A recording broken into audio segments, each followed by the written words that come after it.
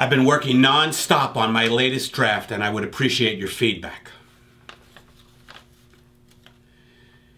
Dear People magazine, your article on Anne Hathaway's shoe collection was so absorbing I didn't even notice running over that Asian on my Vespa.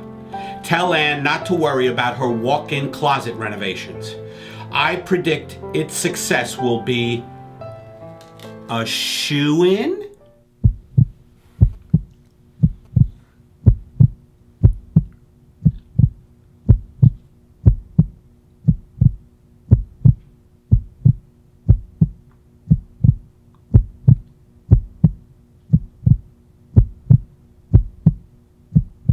Thanks for the punch up, Bruce Vilanch.